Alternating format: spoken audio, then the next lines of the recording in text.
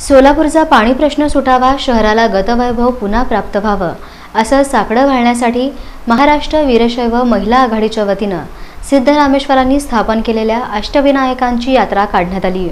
महाराष्ट्र वीरशैव महिला आघाडीच्या वतीनं ग्रामदैवत सिद्धरामेश्वरांनी स्थापन केलेल्या अष्टविनायकांचं दर्शन घेऊन सोलापूर शहराचा पाणी पुरवठा सुरळीत व्हावा सोलापूर शहराचं हरवत चाललेलं गतवैभव पुन्हा प्राप्त व्हावं यासाठी साकडं घालण्यात येणार आहे.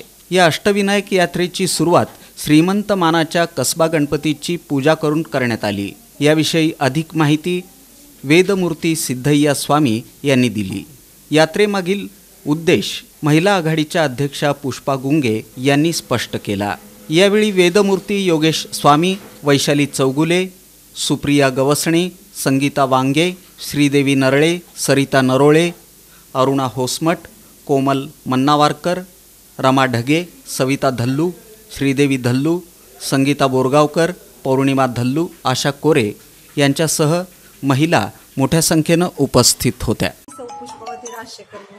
महाराष्ट्र वीरशैव सभा महिला आघाडी जिल्हा अध्यक्ष असून आज आम्ही सर्व महिला मंडळ सिद्धरामेश्वर स्थापित अष्टविनायकाला निघालो आहोत. बा सिद्धरामेश्वरा बा अष्ट बा बा विघ्नहर्त्या आम्हाला सर्वांना आमच्या सोलापूरला पूर्वीचे गतवैभव द्यावे. तसेच आम्ही आमच्या इथला पाण्याचा प्रश्न मिटावा. तसेच आमच्या सगळ्या महिलांना सुख समृद्धी देवो. आमच्या इथल्या सगळ्या नागरिकांना सगळ्या सुविधा गतवैभव सोडून त्यापेक्षाही एकदम चांगलं समृद्धी यावी सोलापूरला. यासाठी आम्ही साकडं घालण्यासाठी विघ्नहर्त्याला निघालो आहोत. माझ्या सगळ्या महिला या सगळ्या त्या विघ्नहर्त्याला साकडं घालण्यासाठी निघाल्या आहेत. तर आम्हाला यश मिळावं हेच मी आवाहन करते आणि सगळ्यांना तेच सांगते.